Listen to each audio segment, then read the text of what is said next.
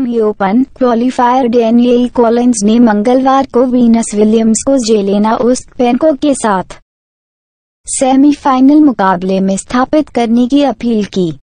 Daniel Collins ने जीवन भर के प्रदर्शन का उत्पादन किया और बुधवार को डब्ल्यूटीए मियामी ओपन में एक सर्वशक्तिमान झटका लगा, जिससे वीनस विलियम्स ने सेमीफाइनल तक पहुँचने के लिए छह रन दो, छह रन तीन सेकंड शिकस्त दी।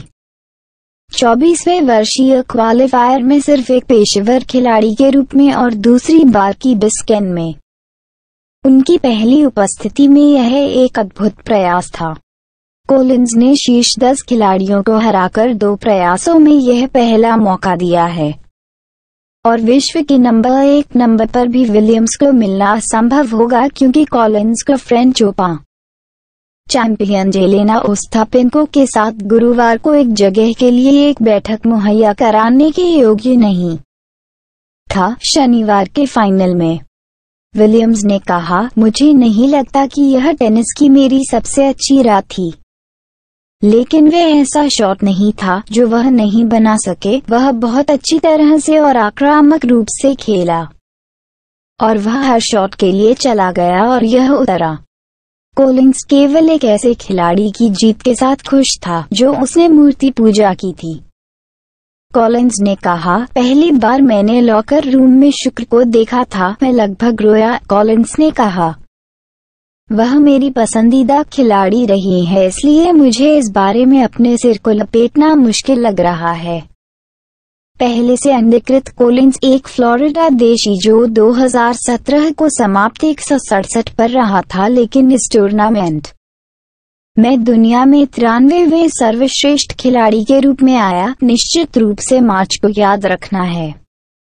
वाइल्ड कार्ड के रूप में वह इंडियन वेल्स में 16 के दौर में पहुँच गईं और क्वालिफाइंग के माध्यम से आने वाले अंतिम चार रनों के शानदार प्रदर्शन के साथ यहाँ तक बेहतर रहे हैं। इससे पहले क्वालिफायर ने मैरियन बटोली ने पिछले आठ में अपना सर्वश्रेष्ठ प्रदर्शन किया था। विलियम्स के तीनों के लिए छह मैचों खेलने के बावजूद कॉलिंस ने इस मुठभेड़ में अपने अमेरिकी प्रतिद्वंदी कॉलिंस के लिए छह घंटे अट्ठावन मिनट और विलियम्स के लिए सात घंटे बाईस से चौबीस मिनट का अदा किया। हालाँकि अनुभवी विलियम्स की तुलना में 24 वर्षीय के लिए कोई कठोर परीक्षा नहीं होनी चाहिए, जिन्होंने इस स्तर तक पहुँचने के लिए अपनी लड़ाई लड़ी थी। बत्तीस मैचों में किकी बर्टेन्स के खिलाफ मैराथन तीन सेटर में तीन मैच पॉइंट बचाए थे।